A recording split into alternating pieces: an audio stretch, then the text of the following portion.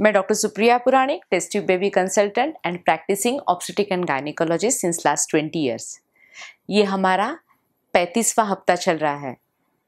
बढ़ते हुए वज़न के कारण हमें बहुत सारी दिक्कतें झेलनी होती है। हमारा पेट दर्द होता है, पीठ दर्द होता है, सांस लेने में दिक्कत होती है, थकान सी महसूस होती है। लेकिन आप बिल्कुल चिंता नहीं करना। ये परेशानी सिर्फ़ थोड़े दिन के लिए ही है।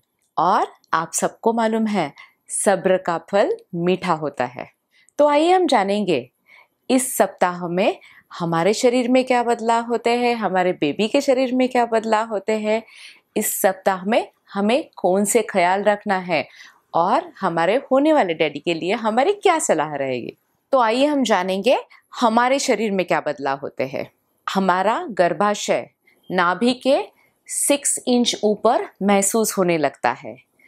और गर्भाशय रिप केज में अभी बढ़ता जा रहा है। इसीलिए दोनों फेफड़ों पे प्रेशर आ रहा है और सांस लेने में दिक्कत हो रही है। अब तक आपका वज़न आठ से दस किलो तक बढ़ गया है। लेकिन जिनका वेट गेन नहीं हुआ है, उनको ज़्यादा डरने की बात नहीं है। सोनोग्राफी में हमें पता चलता है बेबी अंदर अच्छी तरह से ग्रो हो रहा है। लेकिन जिनका वज़न हद से ज़्यादा बढ़ता है, उनको थोड़ा सा कॉशन में रहना है, कार्बोहाइड्रेट की मात्रा कम करनी है, स्वीट्स की मात्रा कम करनी है, क्योंकि हमारा एवरेज वज़न हर हफ़्ते में 500 ग्राम ही बढ़ना चाहिए। यानी कि एक महीने में हमारा वज़न डेढ़ से दो किलो तक बढ़ना उचित होता है।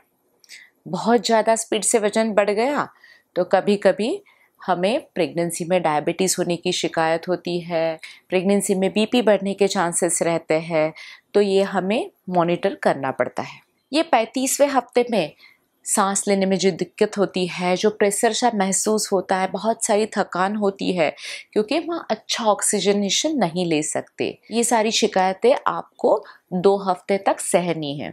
जब आप पहली बार माँ बनने वाली हो तो अराउंड थर्टी सेवन वीक्स में बेबी का सिर पेल्विक कैविटी में, यानी कि बर्थ पैसेज में, यानी कि चॉकेट में आता है। तब हमारा प्रेशर बहुत ही कम हो जाता है और हम अच्छी तरह से सांस लेना शुरू कर देते हैं।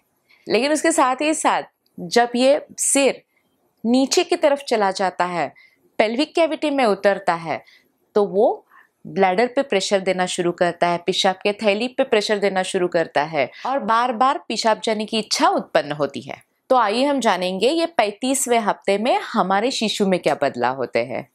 हमारे शिशु की लंबाई ज़्यादा नहीं बढ़ती 17 टू 18 इंचेस तक रहती है और हमारे शिशु का वेट लगभग 2.5 किलोग्राम तक रहता है।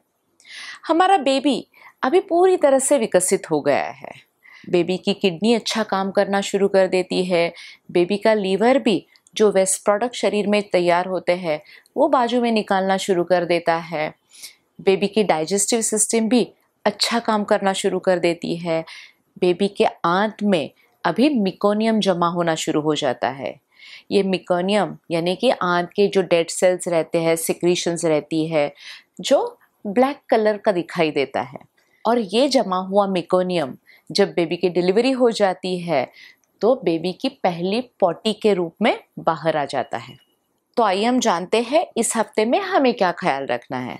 हमें बेबी की मूवमेंट्स पे, हरकतों में एकदम नज़दीक से ध्यान देना है।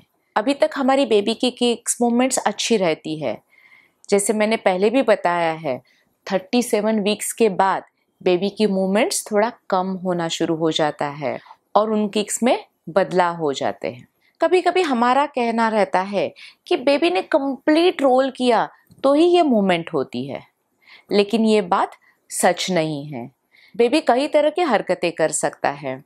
बेबी लात मार सकता है, बेबी में सरसराहट हो सकती है, बेबी में फ्लटर यानी कि स्पंदनें आ जाती है और कभी कभी बेबी कंप्लीट रोल होता है यानी कि पूरा घूम जाता है। तो ये सारी बेबी की हरकतें यानी कि फ्लटर्स रोल्स केक्स ये सारी हरकतें कुल मिला के दो घंटे में दस तक होनी चाहिए और ये आपको काउंट करना है। समझो ये दो घंटों में बेबी सोया रहा तो भी आपको टेंशन नहीं लेना है।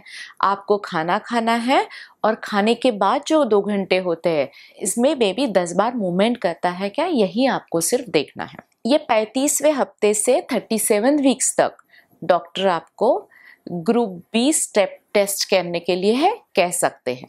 तो आइए हम जानेंगे ये टेस्ट क्या होती है। ग्रुप बी स्टेप्टोकोकस हमारे शरीर के आंत में रहते हैं। ये एक जीवाणु रहते हैं, बैक्टीरिया रहते हैं, हमारे आंत में कभी कभी वजाना में भी रहते हैं। ये जो जीवाणु हैं, ये वजाना में रहते हैं तो कुछ भी लक्षण नहीं रहते। कभी कभी कई महिलाओं में बार बार यूरिन का इन्फेक्शन होने की शिकायत रहती है। लेकिन वो जीवाणु वहाँ रहने से ज़्यादा कुछ फ़र्क नहीं पड़ता है।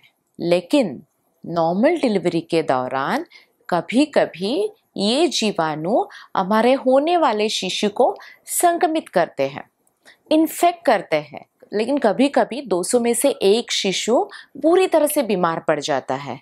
यानी कि वो नवजात शिशु को ब्रेन में इन्फेक्शन होना, जिसको मेनिंजाइटिस कहते हैं, कभी न्यूमोनिया हो जाता है, कभी ब्लड में इन्फेक्शन फैल जाता है और उसको सेप्टिसिमिया बोलते हैं। ऐसे खतरनाक बीमारियों का सामना करना पड़ता है।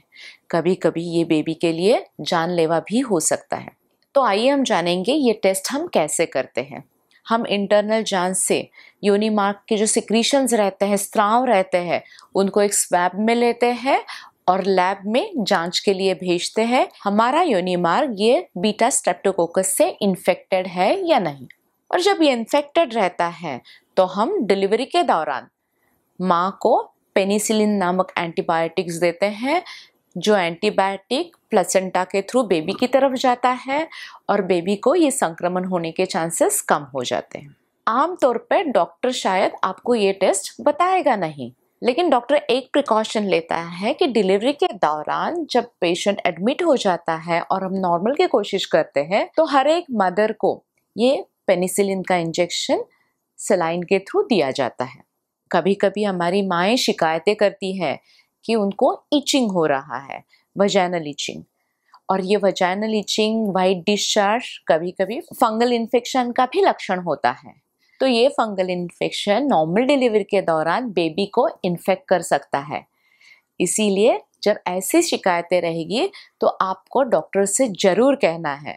तो डॉक्टर आपको anti fungal vaginal pessaries treatment के तौर पे दे सकते हैं। तो आइए हम जानेंगे हमारे होने वाले डैडी के लिए हमारी क्या सलाह रहेगी। आपको भी ये देखना है कि मॉमी बेबी के किक काउंट करती है या नहीं। इस पे आपको ज़रूर ध्यान रखना है और ये किक्स कम रहेगी तो आपको तुरंत डॉक्टर को कांटेक्ट करना है। इनफैक्ट फ़ोन से बातें करने से अच्छा है कि आप हॉस्पिटल के इमरजेंसी रूम में जाओ और एक एनएसटी टेस्ट रहती है, वो करवाओ। और अभी डिलीवरी का समय नज़दीक आ रहा है।